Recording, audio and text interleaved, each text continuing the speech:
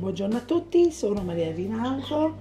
Allora, dopo tanti tentativi e tanti video guardati, sono riuscita a fare una meringa al forno a microonde.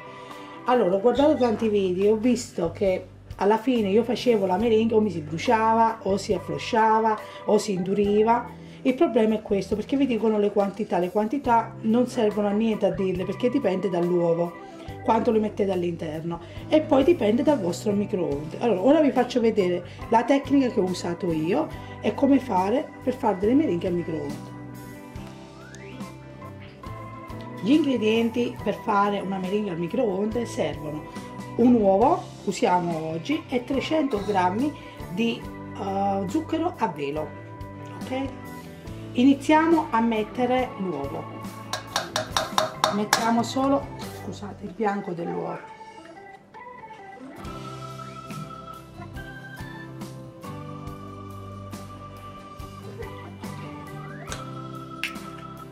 Poi iniziamo, questi qua sono 300 grammi, però non è detto che li usiamo tutti, dipende dall'assorbimento del bianco dell'uovo. Iniziamo a metterne un tot. Purtroppo non servono le fruste, ma dovete fare l'impasto con le mani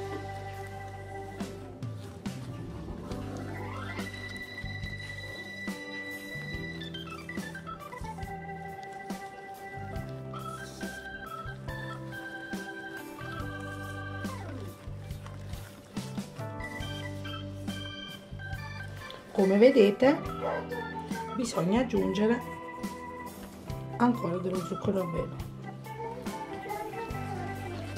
Come vedete si attacca ancora alle mani vuol dire che non è pronta. Buttiamo dentro versiamo altro zucchero a velo. Mi raccomando se vedete che non vi bastano i 300 grammi di zucchero come avete iniziato aggiungetene fin quando vedete che la pasta non si attacca più alle mani vedete la pasta non deve più attaccarsi alle mani, deve diventare compatta.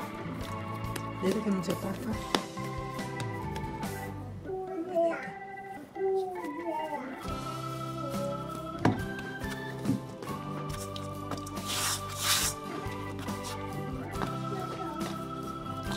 Una volta così l'impasto è pronto.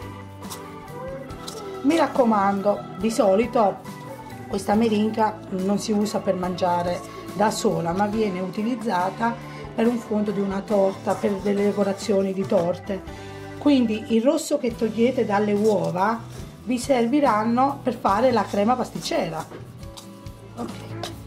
Allora, una volta che avete preparato tutto l'impasto, fate delle piccole palline, mettetele separate nel piatto direttamente del microonde allora io ho notato che nel mio microonde perché questo dipende tutto dal microonde non posso metterlo centrale perché ha una cottura diversa da quelli laterali e si brucia la meringa quindi io le metto tutte divise così.